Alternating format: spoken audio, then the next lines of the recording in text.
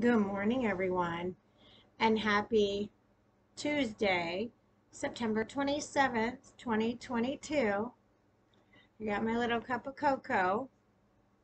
Funny, when I mixed it up, I thought I was going to um, add some creamers to it, you know, those liquid ones that you get in the store. They were provided here at the barn. Um, I'm staying in a barn it's been converted. It's fantastic. I love it. Peace and quiet, serenity of the country with chickens running around. Um, so this is only three ingredients. Coconut sugar, Hershey's cocoa, and powdered milk. None of the three have any toxins in it for my body or anyone else's. But I I thought, oh, it'd be a little creamier if I put, you know, like a little bit more milk in it this morning. So I was like, oh, I'll look.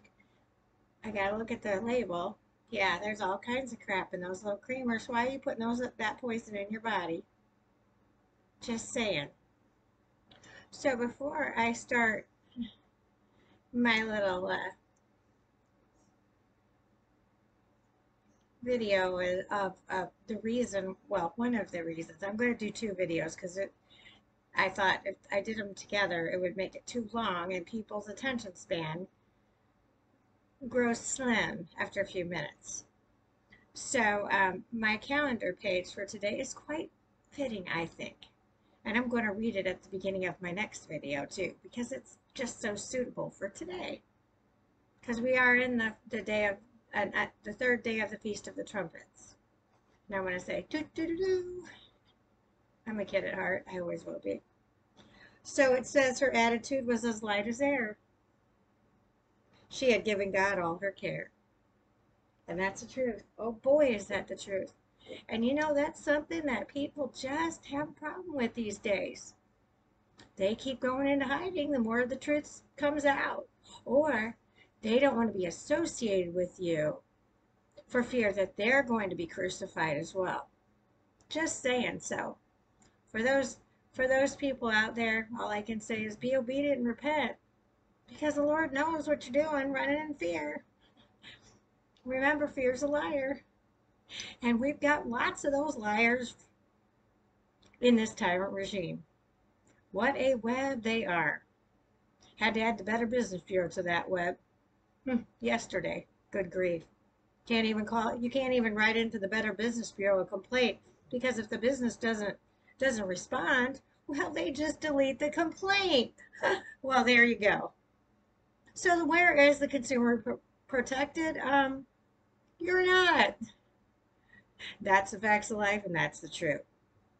So, along the lines of um, the Feast of Trumpets, I thought it was fitting to um, discuss it. So um, I came across this beautifully, um, quite beautiful, I might add. Oh, I lost some more. I lost some more viewers. Love that. This just it just gets more fun by the minute. Future's female, just saying.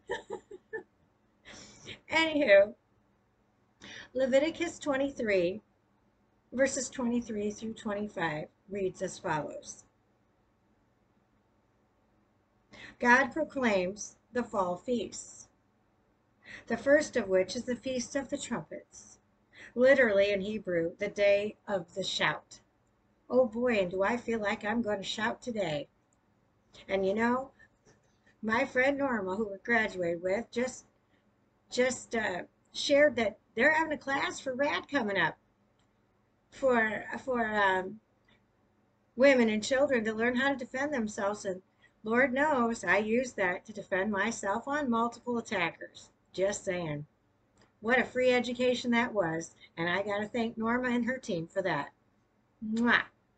Anyway, we now move from the feast associated with the spring barley harvest and moved to the festivals associated with the fall wheat harvest. God commands Moses to speak to the sons of Israel, saying, In the seventh month, which is September. Just so you know, they lied about the calendar too.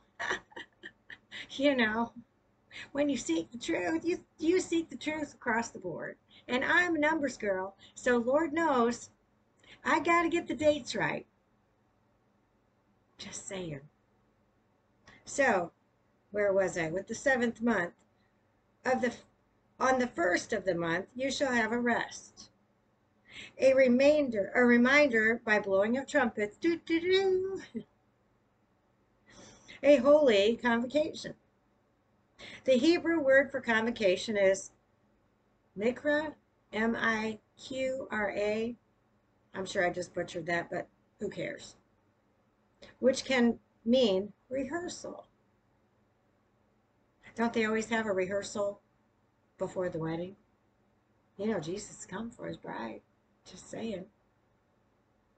God gave his appointed times as holy rehearsals for a messianic, messianic, I think that's how you pronounce it, event in the future. Oh, that'd be the wedding of, of, of Jesus with his bride. Just saying. So exciting.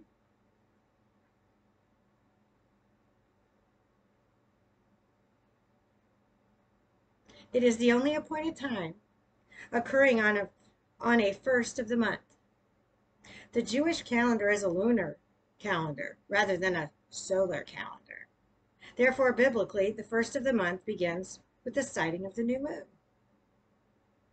Thus, no one knew precisely when this feast would start until the first sliver of the new moon was sighted in the western sky. Then they've got a nice little diagram showing, which you're not going to be able to see because, you know, my lamp oil is overflowing. I mean, yesterday I had a whole day of rest. I was getting more toxins out of my body. Imagine that. You know, those little Glade plug-ins or whatever brand they are. Yeah, those are poison too. Unplug them and get them out of your house. Who cares how good your house smells? They're toxic. I could barely breathe. They were they were restricting my lungs. I had to unplug them all. As much as they smell delightful, they're not delightful for my temple. Just saying, nor are they for yours.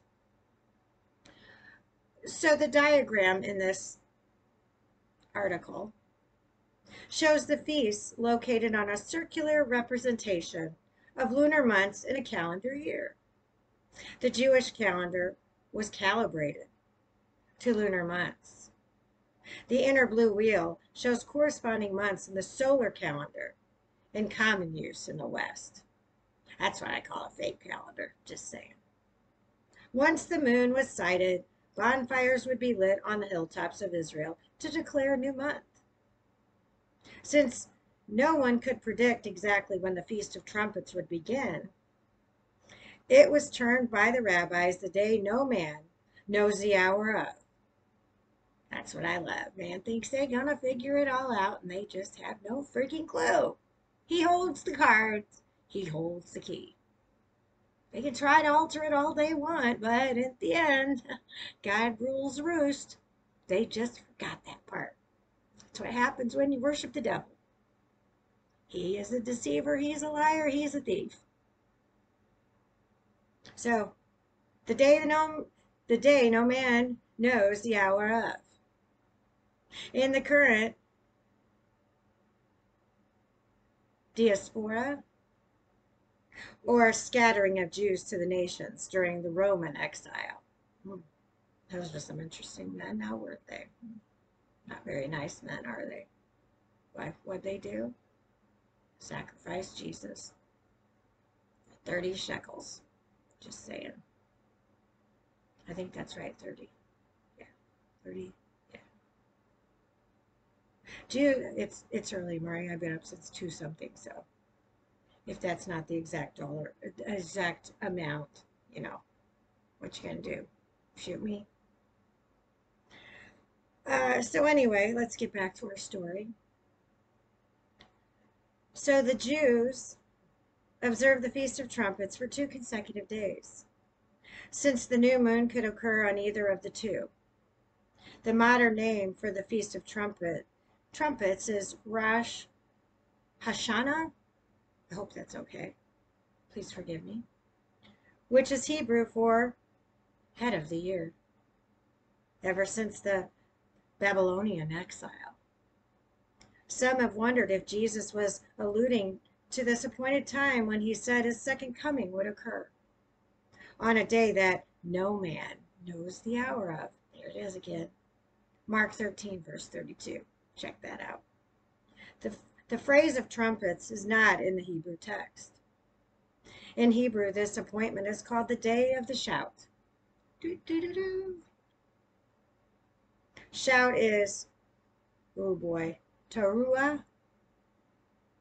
In Hebrew, in the ancient Near East, ram's horns of shofars were used to announce events to the public.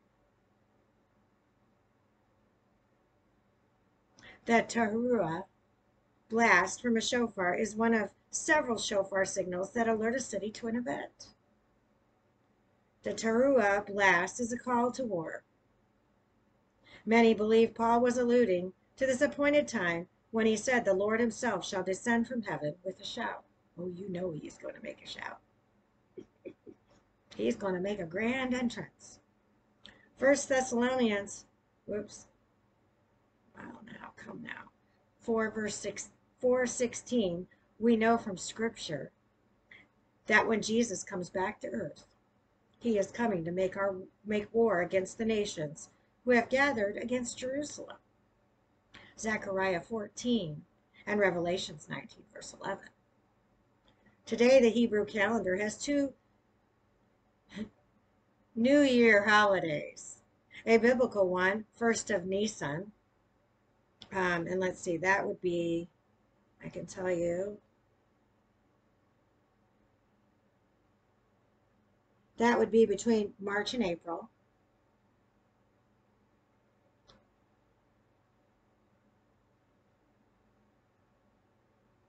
And the first of Tishrei, which is the seventh month, which is right now. Not the ninth month, the seventh month. Israel was commanded to have a rest on this holiday. The statement, you shall not do any laborious work, indicates that this is a day to which the Sabbath laws apply, irrespective of whether it falls on a Sabbath, which would be a Sunday. The final instruction for the Feast of Trumpets is you shall present an offering by fire to the Lord. See my fire burning with Jesus in the middle? Just saying. Can't get much better than that.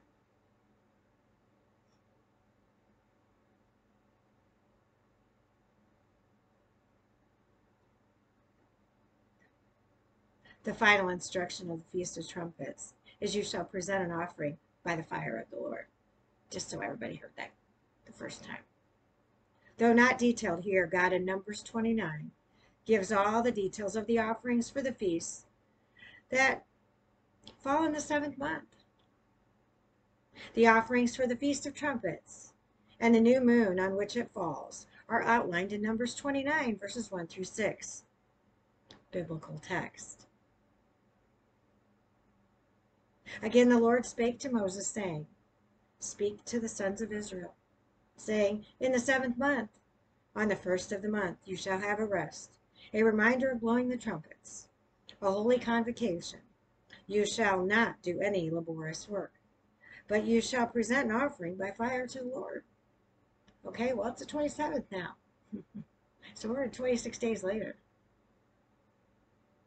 Um, there's other commentaries, but we're going to stop right there because we're at 14 minutes, and I don't want people to get too too bored or worn out because I got another one that's way more juicier than this one. So stay tuned. I've got more coming up because the future is female, just saying. God gave me a voice. Had to have surgery on my esophagus because I was only at 50% from those poisons from those medical facilities called pawning themselves out as heal centers when they are poison control centers, controlling the amount of poison that they prescribe to each individual. Funny, ran into a gal at Meijer She worked in a pharmacy for 14 years. When I said that to her, she said, I would agree with you 100%. It's amazing when you talk to people what they tell you. Just saying. Where you think I get a lot of my knowledge, talking to the real people from the horse's mouth. The stuff that they don't tell you on TV, that idiot box that I haven't turned on since I've been here. It could be a great tool, but it's it's become the worst mind altering drug out there. Just saying. I'm calling a spade a spade. Stay tuned, more coming up. Love tall bunches and bunches. Bye now.